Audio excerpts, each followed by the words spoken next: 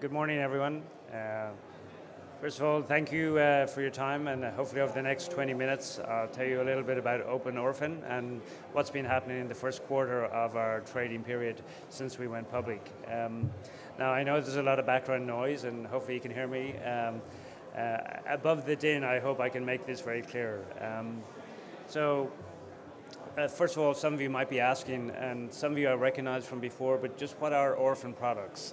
And orphan products are drugs that are designated orphan uh, because they're treating rare diseases. When I talk about rare diseases, that means it's affecting one or 2,000 people or less. So it might be considered a small market, but globally, there are 300 million people who suffer from rare diseases. Uh, in Europe alone, there's 30 million people. So this is a huge market that's untapped and unattended to actually from the pharmaceutical market, and I'll tell you a little bit about that. Um, so it's a large market. What Open Orphan is doing, we don't have our own products. We're a pharma services company. We bring products for, from our clients, other pharma or biotech companies, through the pre-clin, uh, clinical evaluation, regulatory approval and reimbursement. So we really add value to their products and bring them to market. So a little bit about Open Orphan. Um, the usual disclaimer applies. Um, so we are an AIM and Euronext listed company. Um, we went public uh, in June of 2018 via a reverse takeover of Venn Life Science, which was an existing CRO or clinical research organization. Our market cap currently is about 17 million. We're 6.55 today. Uh, we, as I said, a reverse takeover of Venn, um, which was in the clinical research organization. I'll tell you a little bit about the management that's now running Open Orphan that acquired uh, Life Sciences. Um, we have a very existing, we have very pertinent experience in finance, pharmaceuticals, and in the orphan drug product space. Currently, the management owns about 35% of the company. Um, the institutional investors about another 35, 40%, and then uh, the other 25% is hopefully of interest to you guys. Um, in last year, so 2018, and again, this is before we acquired Venn, there was revenues of 14.5 million in the company, so a, a very nice revenue earner. Um, and I'll tell you a little bit about how we're correcting that and how it was incorrectly rated during that time. As part of our acquisition, as part of our strategy going forward, and we've, we've told this to the market, we're a bolt-on acquisition strategy company. So we're building companies who have expertise in the orphan drug space uh, and really bring them under the banner of Open Orphan to really deliver a pan-European market uh, for orphan drug products across Europe and globally. Um, we're also rolling out two digital platforms. It's all about the data associated with rare diseases. Uh, we're, dri we're dri driving those through uh, to hope to deliver in the next uh, year.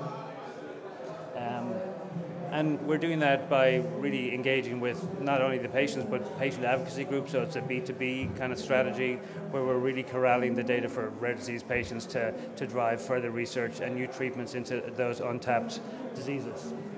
Um, we have a huge customer base, about 30 companies that are active in our clinical evaluation consultancy business.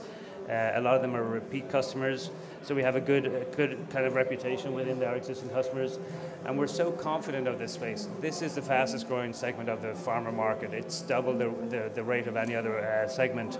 We, we are confident that we will have dividends available in two years, and we have a very clearly defined exit strategy, which I can get into as we go through the talk.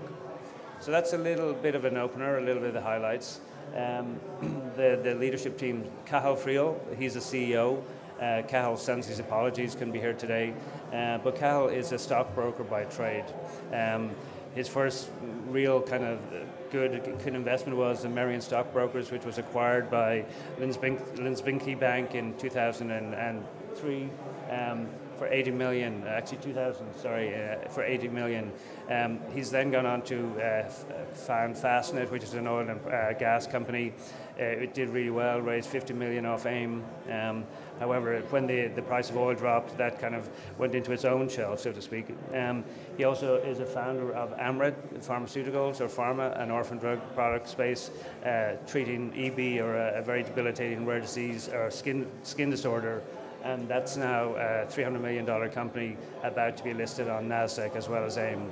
Um, He's also the founder of Raglan Capital. So he's a stockbroker, financial guru. He knows the public markets um, and really uh, is a huge power within the company. There's Brendan Buckley, who is the chairman, uh, non-exec chairman. Uh, Brendan has spent most of his life in the clinical research uh, space. He's worked with ICON as the chief medical officer from 2013 to 17. Uh, that's when his company Fastnet was acquired by ICON. Very, very engaged in the leadership team there very skilled in mer mergers and acquisition, and that's really critical in our strategy to bolt on uh, various acquisitions as part of our growth strategy. Um, He's also worked with the EMA and he's worked with the EMA in the orphan drug space.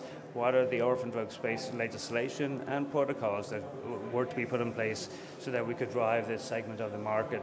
Uh, and he was the key instigator and author in, uh, of those protocols.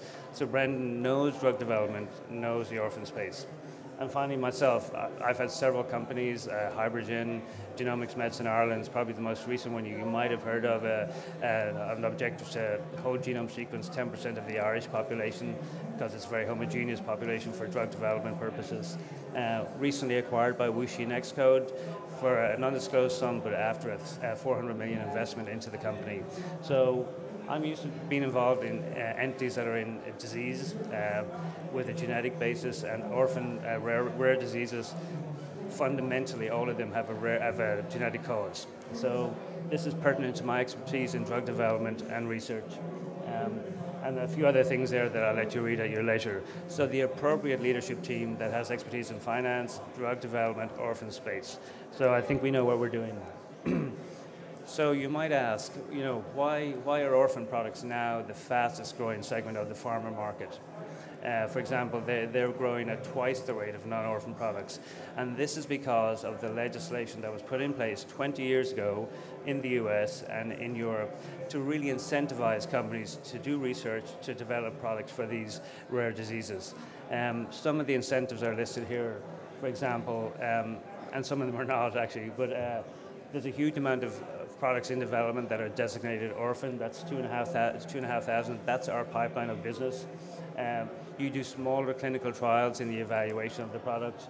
30 million people in Europe, 300 million worldwide, a huge market, huge amount of consulting uh, operating as a, as a result of that, and that's why we're in this space. The price you can garner for orphan products is about four and a half times what you can get for non-orphan products. You have shelf exclusivity or market exclusivity in the US for seven years post uh, registration, 10 years in Europe, and any of your costs associated with R&D costs associated with uh, orphan drug products are tax deductible.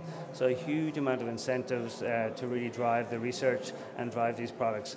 It's taken about 20 years to see the impact of that, and that's why it's now the fastest growing segment of the market. Um, so we're in a growth space. Uh, it's really, really exciting space. This is uh, the, the business model associated with Open, Open Orphan. So the first one I talked about already.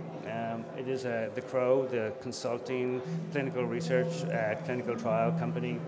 We acquired Venn, and, and that's really driving a lot of the business. I'll tell you a little bit about that in the next slide. The other two parts of the business are the digital platforms. The virtual rep is uh, really uh, a part of the business that I, I will talk about, but I'll more concentrate on the genomic side, the genomic health data, which hopes, we hope to launch in, in Q1 of next year. So a little bit about Venn. It was undercapitalized. It was underutilized. Staff was 60%, staff utilization was 60%. We're right sizing, we're correcting Venn from a staff utilization perspective, from a utilities perspective, from an expertise fit for purpose perspective. Um, but despite all that, it, and it was loss making, um, despite all that, it had a very good customer base, repeat customers, mostly in the orphan space. So we acquired it. We saw an opportunity here. We acquired it for four million uh, just last June. That was at the time when it had revenues of 14 million, and most companies in this space are rated at two and a half to three times revenues. So typically, if it had been properly rated, it would have been maybe valued about 30 million. We acquired uh, Venn for 4 million. Uh, we're, we're right-sizing Venn, if you will.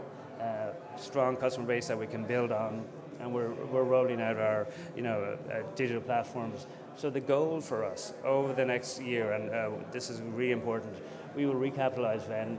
Uh, we've done that. We raised four and a half million on the market, institutional investors in June. restructure, we're right sourcing, we're correcting, profit making. Because of all these corrective measures we're taking, we hope by H1 next year we will be profitable. It's the first time in its history that Venn will have been profitable. Uh, and we want to re-rate. Based on that re-ration and our build bolt-on acquisition strategy to get our revenues up to close to 50 million, we will uh, re-rate to about two and a half to three times uh, share price. So this is just a little bit of the, the strategy. It's a bolt-on acquisition strategy. We are in active discussions with uh, potential uh, acquisition targets, and we will announce an acquisition before the end of this year. These are all like small and medium-sized, you know, consulting houses in the orphan drug space. It'll be they'll be acquired for, very little cash. It'll be mainly a uh, share exchange, uh, equity exchange for the purchase.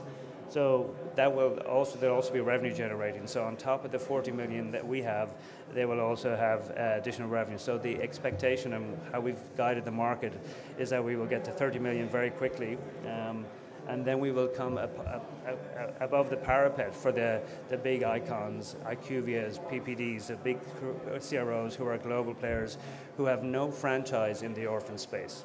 So this is exactly what we want to do. Getting above that, you know, towards that 50 million will also uh, get us re-rated at two and a half to three times revenue. So that's a lot of information I know, and I, I tend to rush a little bit because I think very quickly. We, are moving very quickly to correct uh, Venn. Open Orphan is in a growth segment. We have the appropriate leadership. We're correcting all the utilities, tangible uh, activities, facilities within the company. And we're also rolling out two digital platforms. Let me talk a little bit about the genomic health data platform. And our objective here is to become the largest broker for rare disease data uh, across Europe, but it, it can be a, a, global platform. Uh, it's in the final phase of development, so we just recently announced a collaboration with Empiric Logic, which is a software developer.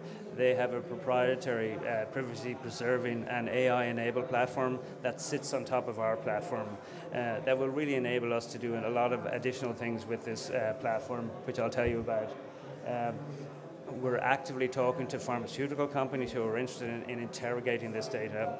Uh, we're also working through the advocacy groups, the groups that lobby on behalf of these patients, who put facilities, infrastructure, resources to support these patients on a day-to-day basis. We're, we're working through them to, to make the patients aware of our database. It's a low-cost collection strategy.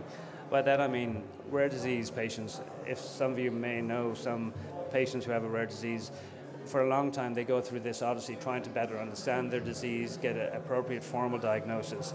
So they're on an odyssey that can take between 7 to 20 years. Uh, that means they have a huge amount of clinical data, in a lot of cases genomic data, it already pre-exists.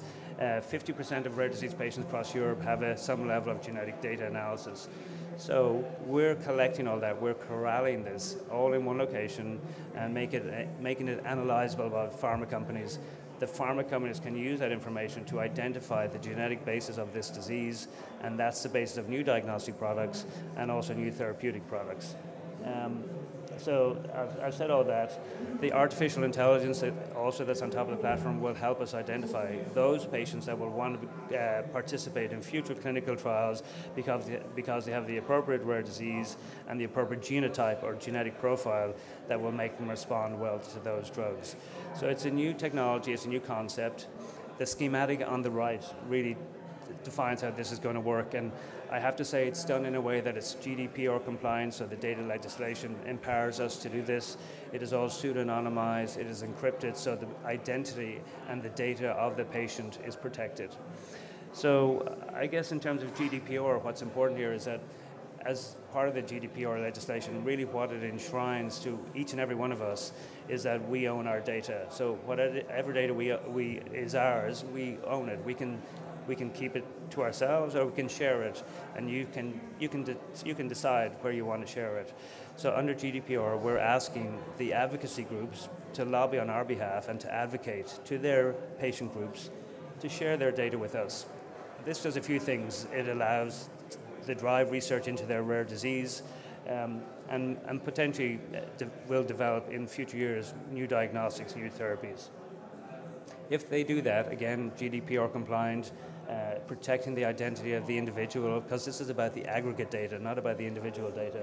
We put that into a format, we curate the data, we put it into a standard format in our database that is analyzable by pharma companies. The pharma companies access that data, they pay for that access. There's an access fee, of course and that access fee, a component of that, 50% after costs, will be shared back to the advocacy groups. We, we do that for certain, for certain reasons. Obviously, we're doing this to drive research for new treatments, but we're also doing it so that by sharing this, uh, th this kind of access fees back to advocacy groups, we put in place infrastructure, or we help them put in place infrastructure to support these patients on a day-to-day -day basis. Finally, um, I guess you might ask, so how much does it cost? It's actually a low cost model, it's not a huge amount of cost, and we guided the market that the entire setting up of the database would cost about 500,000. We're, we're pretty much, a very much below that. What we've also said is what's the value of this? So the target, our target is to get to 10,000 patient records within the next two years. That's less than one, that's one third of 1% of the, the European rare disease patient population. So we think we can do that. We know that data exists. Um, and what we're saying is, and I'll show you some precedents in the marketplace, each of those patient records is evaluated at about 5,000. So if we're collecting 10,000, the value of this database, nominal value of this database, is 50 million. Now, I say that because the nominal value is not the value many companies can look at this data in duplicate. It's a, it's a pre-competitive space. They can all look at the same data and decide if they want to develop a diagnostic or a different product. Once they're in their drug development programs, it's competitive. But at the time they're looking at this data, it's a pre-competitive, non-exclusive space. So the value of this database will be multiples of 50 million. Um, so this is hugely valuable. Um, it is a new concept. It is transformational to patients because it is allowing them drive research into their rare disease and hopefully get better products. So I just want to show you some examples in the markets where we're, we're putting our value. So I'll come back to this slide. So these are some examples of companies that have raised money that are data brokers as well. Um, and by the way, there is copies of the slides uh, at our booth, which is B3. Um, so feel free to come by and pick one up. Um, these companies uh, have all in the data space quite different from us, but so fundamentally, money is able to be raised for this concept.